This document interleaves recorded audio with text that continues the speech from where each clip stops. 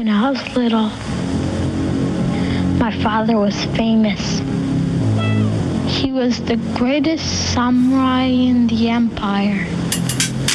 And he was the shogun's decapitator. He cut off the heads of 131 lords. It was a bad time for the empire.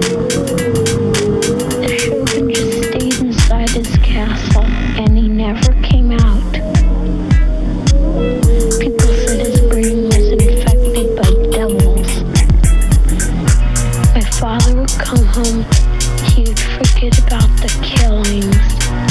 He wasn't scared of the Shogun, but the Shogun was scared of him. Maybe that was the problem. Then, one night, the Shogun sent his ninja spies to our house.